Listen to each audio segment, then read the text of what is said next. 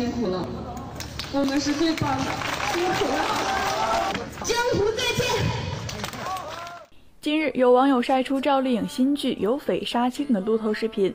视频中，赵丽颖哭腔说道：“大家辛苦了，我们是最棒的，辛苦了，江湖再见。”随后放下话筒抹眼泪，也是很有周匪的气魄和胸襟了。对此，网友纷纷留言称：“她还是那个热血重感情的女孩，每次杀青时都会哭，每部戏都用心拍摄的颖宝。愿你的努力不会辜负，我们江湖再见。”还是那个对待每个角色都很用心的颖宝。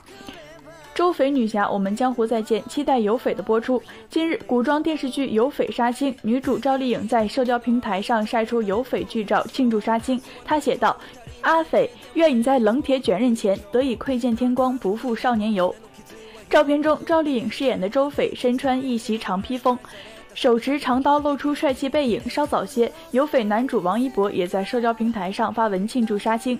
路途遥遥，相聚有时，杀青，并且在下方附上了一张自己身穿古装的背景照，帅气十足。